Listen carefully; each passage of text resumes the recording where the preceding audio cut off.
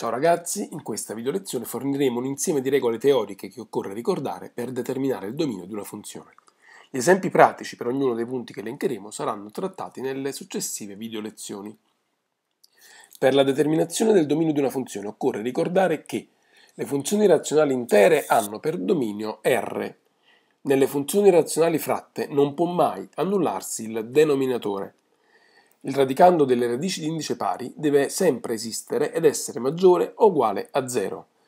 Il radicando delle radici di indice dispari deve esistere e può essere positivo, negativo o nullo. Il logaritmo deve avere argomento positivo e base positiva ma diversa da 1. L'esponenziale con base costante positiva esiste se esiste l'esponente. La potenza con base variabile ed esponente costante irrazionale positivo viene considerata solo per valori della base positivi o nulli. La potenza con base ed esponente entrambi variabili viene considerata solo per valori positivi della base.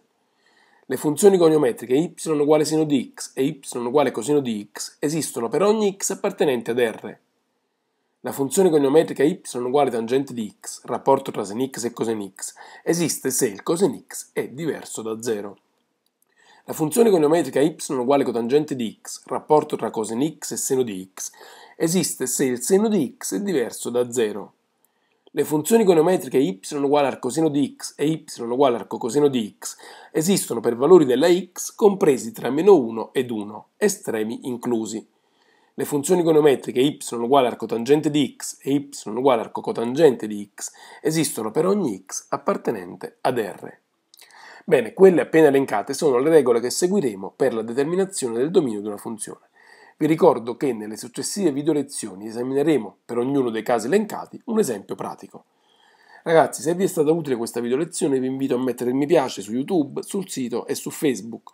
Vi ricordo inoltre che potete seguirci su Twitter e che sul nostro sito troverete l'indice aggiornato di tutte le lezioni ordinate per categoria. Vi ringrazio per aver seguito questa lezione.